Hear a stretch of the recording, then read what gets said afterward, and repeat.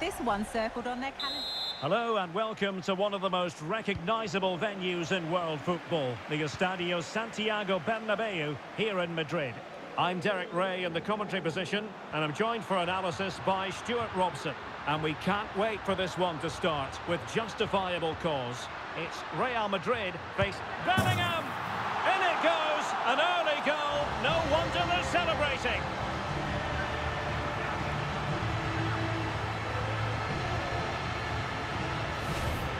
Well, it's great awareness of space in the box, and then he shows a lot of composure with the finish. That's a clever goal. Real Madrid sloppy in possession.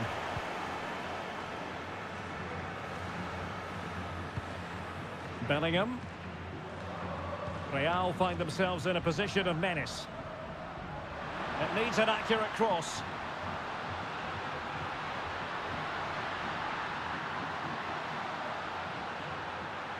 Opportunity here. And a goal! Another one! Two in quick succession. No wonder they're celebrating.